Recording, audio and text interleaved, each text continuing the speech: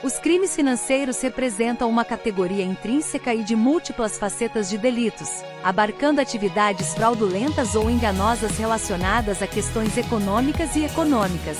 Neste contexto, o papel do advogado que se dedica à defesa de indivíduos acusados de crimes financeiros é de extrema importância.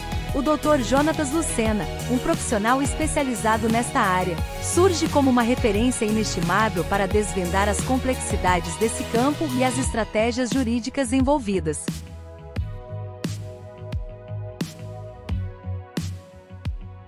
O notável reconhecimento do Dr. Jonatas Lucena deriva de seu profundo conhecimento e experiência em casos relacionados a crimes financeiros. Com uma sólida formação em direito e uma carreira distinta, ele firmou sua posição como especialista na representação de indivíduos e empresas envolvidas em fraudes, lavagem de dinheiro, evasão fiscal e outras atividades financeiramente ilícitas.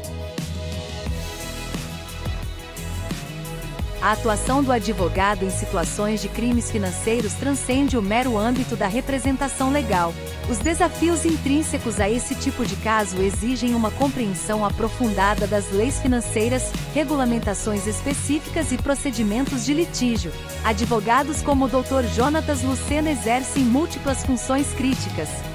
Análise minuciosa de evidências. Advogados especializados em crimes financeiros devem seguir uma análise detalhada dos certificados adquiridos pela acusação.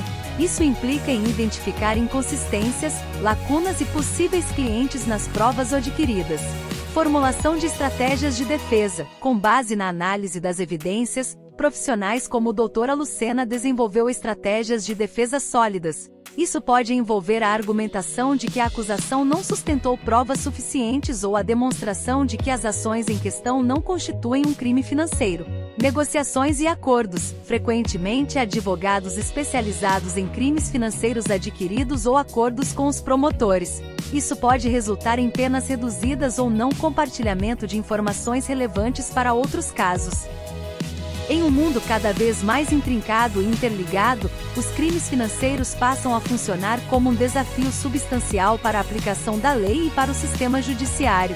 Advogados especializados neste campo, como o Dr. Jonatas Lucena, desempenham um papel fundamental ao salvaguardar os direitos dos acusados e garantir a observância do devido processo legal.